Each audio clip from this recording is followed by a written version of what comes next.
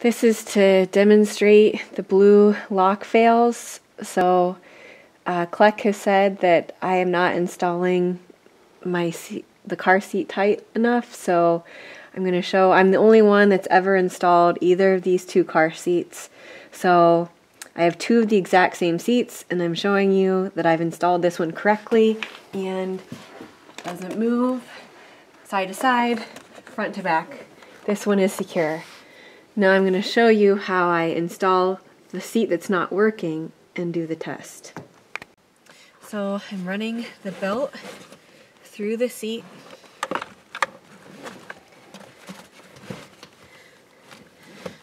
I'm attaching it, making sure the center strap is out of the way, lining it up with all the belt tabs, securing it.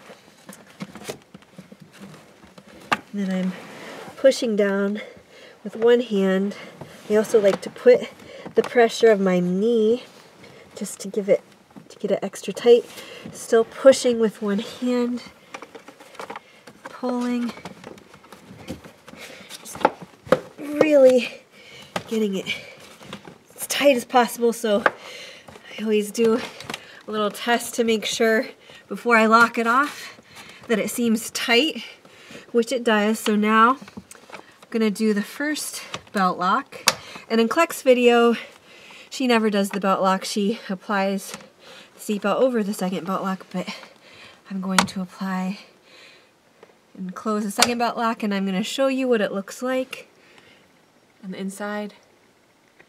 So showing you the first lock off. It's under, it's running under the seatbelt latches and lock off and the straps are tight and secure. And if you're complaining that it's dark it's because we are about to have three kids under four. And the only time to do anything is the middle of the night when they're asleep. It's also freezing in the garage so I'd rather not deal with this. So I've got it as tight as I can and I'm going to show you from this side just one-handed. So I think it's not moving. And we're going to film from the other side.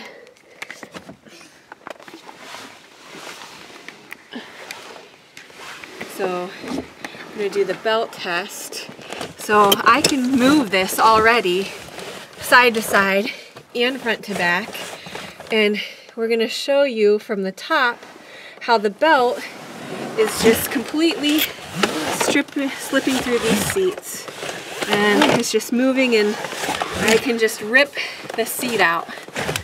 Um, and Clek says it's because of me not getting it tight enough. But you can see this belt is just getting worse uh, as it slides through.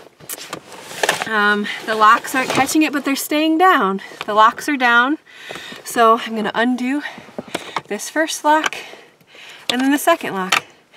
And I'll demonstrate it again from the other angle so you can see how it comes off the base and it doesn't attach to the seat. So I'm going to show you the install from this angle as well as being able to move it. So I'm going to run the belt through. I'm attach it and click it in. make sure it's running through all the seatbelt tabs. I'm going to move that center strap out of the way. Give it initial push, pushing down with one hand, and then I also try to get my knee in so I can get extra weight to really make sure it's pushed in as tight as I can get it. And I can grab it from the side so I always like to do this test, make sure it doesn't move before I do the lock offs. So I'm going to do this first lock off. I Got it. And then you can see I'm going to do the second lock off. A little tricky. There we go. All right.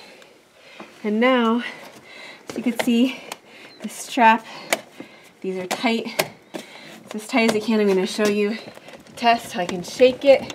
It's moving. starting to move more and now I'm just able to push it back and forth. If you can see, it's running through the belt. The belt straps are just slipping through.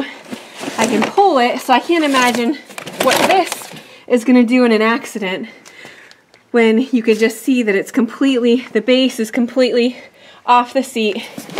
The belt straps are running through the buckles. They are still down and locked, but they're not working properly.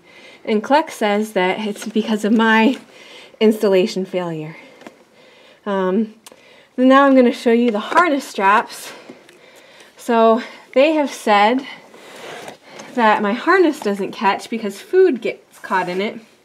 I'm going to show you the end of the strap right here is not frayed. But if you get right here, you can see the edges are fraying.